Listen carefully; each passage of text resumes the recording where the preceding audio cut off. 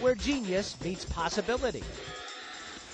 Sunglasses that help blind people see? Sounds impossible, but when connected to a retinal implant, those shades let Kathy Blake, blind for 20 years, see just enough to get around. I can determine where a doorway is. The tiny camera sends a signal down this cable to a processor with the battery here. It sends a video signal up here to this wireless device, and it goes into the implant in the eye. Tiny electrodes stimulate the remaining nerve cells. The system was developed at Doheny Eye Institute with help from the National Science Foundation.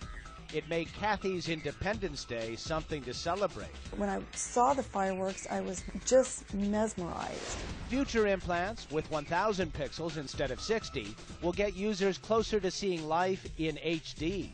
I'm Miles O'Brien.